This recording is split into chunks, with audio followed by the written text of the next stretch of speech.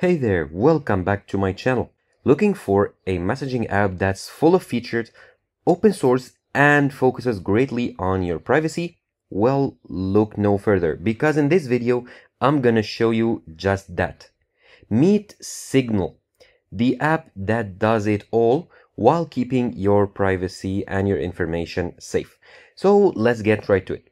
As you can see, I've installed it here on my phone. You can install it on your iPhone, Android, and even has a Windows and Mac version. Now, if I open it, you'll be greeted with the setup screen. And let's go through it together. Now, first of all, tap on continue here at the bottom. And now you need to allow some permissions to allow the app to access your contacts in order to add the contacts and see if they are using Signal so you can chat with them and also enable notifications so that you get notified when someone sends you a new message. Okay, so continue on both, allow notifications and allow access to my contacts. And here it asks you if you want to share with your contacts, if you want to share Signal with all your contacts, or if you want to choose and select some contacts to share Signal with. I'm not going to share it with anyone right now, so I'm gonna tap on select contacts right here. And then at the bottom, you'll see select contacts later. I'm gonna tap on it. And now it asks for your phone number, so I'm gonna enter it pretty quickly right now. And make sure to enter it correctly because they are going to send you a confirmation message on this number. Now tap on next here at the top right. And then here it says they are going to send a verification code to this number, so tap on yes. Now, if you've used Signal before on another iOS device, you want to tap on the second option to transfer your chat history and all your information from your old device. Or if you are just registering as a new user, tap on the first option that's register without transferring. And that's what I'm going to do right now. Okay, just tap on I am human. And then complete this quick like reCAPTCHA in order to confirm that you are a human. Okay, verify. And now you want to paste the verification code that is sent. Okay. And here you want to create your PIN. Now the PIN adds another layer of security so that when you open the Signal app, you are required to enter your PIN in order to access all your chats and contacts. So I'm gonna enter a PIN right here. Okay. Now tap on next here at the top right. Confirm your PIN. Next once again and then you want to set up your profile. So you want to enter your first name here and your last name if you want. I'm just gonna enter my first name and then next at the top right. And you are here. Now here you can get started with some actions like adding a new group add your profile photo invite some friends and edit the appearance of the app. And here at the bottom you have your main menu items.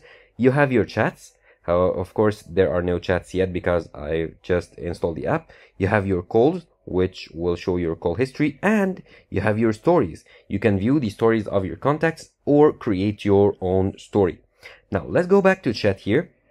And you want to go to the top right in order to start your first chat or at the top left to view your profile information.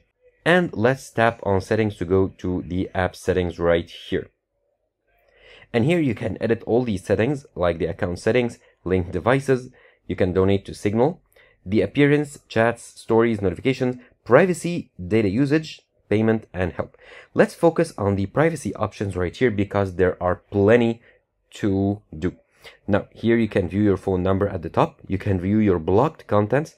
And here you can enable or disable the read receipts and typing indicators. So read receipts is basically when you send a message and the contact like reads it and it gives you like a, an icon similar to that blue check mark on WhatsApp saying that the contact read your message. The typing indicators is when you are receiving a message, you can see when the other contact is typing their message. And you can enable or disable disappearing message. Now, this is a cool feature. You can, if you go click on it, you can set the message to disappear after a certain time, like in 30 seconds. Basically, when you send a message after 30 seconds, the message will disappear. You can set it to 35 minutes up to 4 weeks or you can set custom time right here. Let's say I want it to disappear after 2 minutes. Set. Okay, set. And now it is set to 2 minutes. And here you have the app security. You can hide screen in App Switcher if you want to, and you can enable screen lock to use Face ID or any biometric method used on your phone in order to lock the app. So when I enable it, each time I open Signal, it'll ask me to verify with Face ID on my iPhone. And you can have payments lock as well, requiring Face ID, show calls in the recent list in the iOS phone app, and you have some advanced settings as well. Now let's go back here, okay, and let's add a contact. Create your first contact from the top right. Okay, you can add a new group, find by username if the person is using Signal, or find by phone number, or invite friends to Signal. And for the sake of this video, let's type in here note to self, which will give me a contact called note to self. Of course, if you have some friends that have installed Signal before or are using Signal, you can chat with them and add them with their phone number or with their username. Now, as you can see here in the chat, I have disappearing message set to two minutes. They even notify me of that. And here I can type a message saying hello and tap on the blue arrow here to send it and I can add stickers from here the paper icon okay I have many stickers to choose from let's go back to the keyboard and as you can see on the message you have the two check marks right here meaning that the message is read and this clock icon here is the disappearing message after two minutes the message will disappear now if I tap and hold on the message I can add an emoji I can tap and hold once again. I can reply. I can forward this message to another contact. I can even edit it if I made a like a typo or want to add a word or something like that. Okay, let's go back. And I can even select this message in order to do anything with it. I can view the info. If I tap on info, I can see here that this is read by me, or in this case, it will be read by the other contact. And at the top here, you'll see a timer that tells me that this message will be disappearing in 41 seconds and counting down. Pretty cool. Let's go back. Okay. Okay, let's go back to the chat itself. And let's go. You can go ahead and record an audio if you tap on the microphone icon here at the very bottom right. Okay, however, you need to allow access to the microphone first. So press and hold to record your audio or just press and swipe up and record and talk as you wish and then tap on the blue arrow and your audio message will be sent. Now here it is loading as you can see and now it is read. Now this message, the first message is going to disappear at any moment now. As you can see, it disappeared. And the cool thing is that the disappearing message can be set by chat. So let's say I want to disable disappearing message for this contact. Let me go ahead and tap at the top here next to the contact name tap on disappearing message and then turn it off. So this way this contact won't have disappearing message and our conversation will stay and will not disappear. Now you can tap on the plus icon here at the bottom left. You can see all the other options. You can send a photo, a GIF, you can send files, you can send contact, you can send a location, and you can send payment. So here I've disabled it in the settings. To open settings and allow access like for your gallery in order to send photos, you can do that if you open settings and allow access. And if you tap on the camera icon here next to the microphone, it'll open the camera in order to take an image and send it as an image. So let's do that pretty quickly. Of course, you'll need to allow access to the camera and select an image or take an image and then tap on the arrow icon here to send it.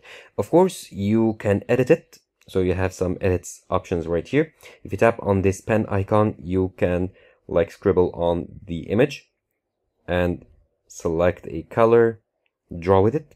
You can add text, stickers, and you can blur faces if you want to. Now let's go back, discard the changes. You can crop and rotate the image and you can save it if you want to. Now let's send it and the image is now sent. And of course, if the image is saved to your gallery, you can get it from there by tapping on the plus and then photos. Now, as you can see, you have many options right here in the Signal app. So it's a pretty feature-rich application that is private and open source, so anyone can view the source code and view all the settings in the app. And I do encourage you to go ahead and install it if you want a private messaging app to use with your colleague or your friends if you are working on any secure projects. So that was pretty much it. A quick overview of the Signal app, how to install it, and the features that are offered to you.